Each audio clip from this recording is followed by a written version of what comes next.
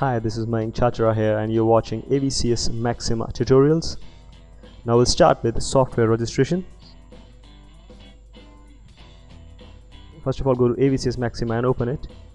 Now you'll see many softwares, Maxima, Select and Choose, Studio Accountant and Rock Converter. Now to register the softwares, click on click here to register for free updates and write your key ID, click on get key ID and copy your key ID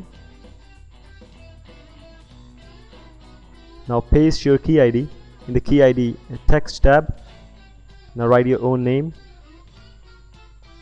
Write your email ID write your mobile number.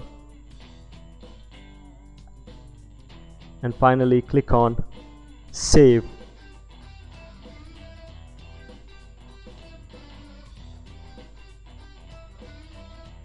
The software will get registered